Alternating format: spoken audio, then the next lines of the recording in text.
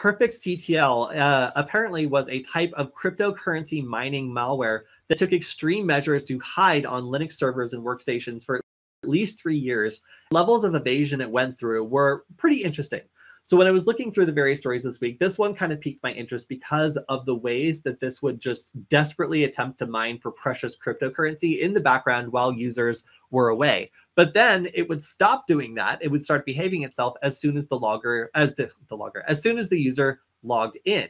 So uh, it would have extremely high CPU usage anytime it felt like it wouldn't be detected. It established all sorts of persistence to make sure if it was cleaned, then it could uh, come back and uh, attack again. And it leveraged a number of vulnerabilities uh, or just exposed credentials in order to take over servers and then inject itself into them. So somebody was earning passive income off of this for a considerable amount of time.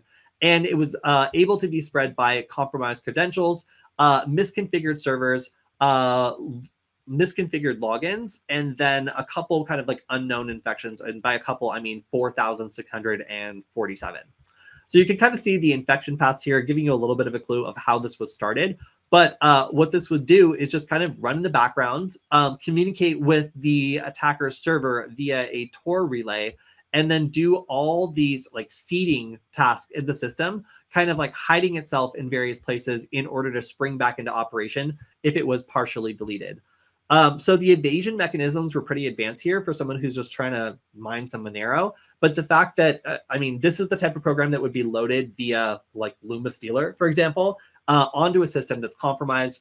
Um, once you have a program like this that just makes money if it infects a system and is very difficult to destroy, you can actually pay distributors of uh, Lumma Stealer uh, and other sorts of loader software to load this on a percentage of their infected PCs or, or Linux servers, allowing you to establish a base of servers that are just constantly mining for uh, Monero in this case.